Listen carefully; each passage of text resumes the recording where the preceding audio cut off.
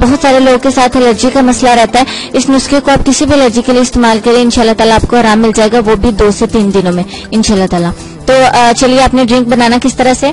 नीम के दरख्त के पत्ते ले लेने आपने, एक कप पत्ते ले लेने और उसके ऊपर जो गोल गोल उसके बीज लगे होते हैं, उसका जो फल होता है, नमोलियाँ जिसे कहते हैं, आधा कप आप वो ले लें, पत्तों को और नमोलियों को अच्छी तरह से पीस के चटनी बना लीजिए और इस चटनी को दो कप पानी में डालें या एक कप पानी में डालें या एक गिलास पानी में डाल और इसको आपने पकाना है। इस तरह से उनका असर जल्दी निकल जाएगा और वो ज़्यादा फ़ायदेमंद होगा आपके लिए।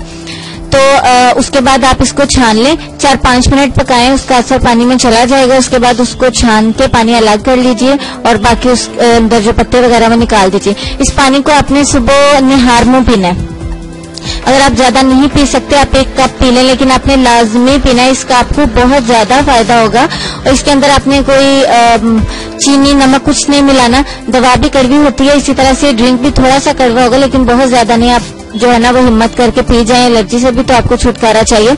और इसके साथ आपने क्या करना है कि आपके चेहरे पर एलर्जी है या जिसम पर है, सर में है बाजुओं पर, कहीं भी है तो आपने नीम के पत्ते और इसी तरह से नमोलियों का जिस तरह से हमने पानी निकाला है, इसको आप ज़्यादा मिकदार में, यानी कि दो ग्लास, तीन ग्लास, इस तरह से जितना आपका एलर्जी का मसला है, उतना पानी में इसको पका लें और फिर उस पानी से आपने नहाना है, या एलर्जी वाली जगह पे लगाना है। यानी कि मान लें आपके चेहरे पर एलर्जी है तो आपने उस पानी से दो दफ़ा मुँह धोना है। आपके बाजुओं पर एलर्जी है तो आप दो दफ़ा दिन में इससे बाजू धो लीजिए। उसके बाद सादा पानी से धोने की ज़रूरत नहीं है।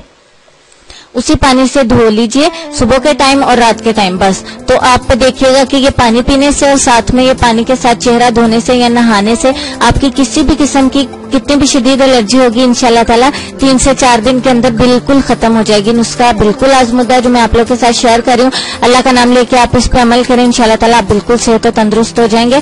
तो अब टिप और हमारी खत्म हो चुकी है, अब चलते हैं आज के लेसन की तरफ़, जिसमें मैं आप लोग को ये कहूँगी कि अपने दिन का आगाज़ सदका से करो। जिस दिन आप अपने दिन का आगाज़ सदका से करोगे, उस दिन तुम्हारी कोई दुआ रद्द नहीं होगी। बहुत अच्छी बात है, इस पे गौर के साथ साथ इस पे गौर तो क्या ही करना है, आप अमल ज़रूर करिएगा। ठीक हो गया। तो अब जो लोग नए हैं चैनल पे या पहली वीडियो देख रहे हैं, उनसे मेरी रिक्वेस्ट है कि चैनल को ज़रूर सब्सक्राइब करें ताकि आपको नई वीडियोस का मैसेज मिल जाए।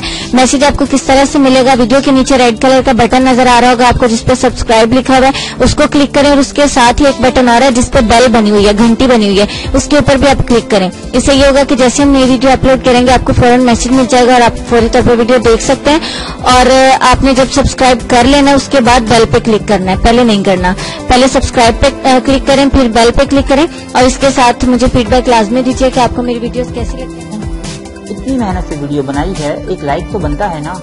और दूसरा ये कि आप हमें इतनी बड़ी दुनिया में दोबारा कैसे ढूंढेंगे? तो इसका हल ये है कि आप हमारे चैनल को सब्सक्राइब कर लीजिए और इस बेल के आइकन को क्लिक कर दीजिए। इस तरह हमारे आने वाली तमाम वीडियोस आप तक पहुँच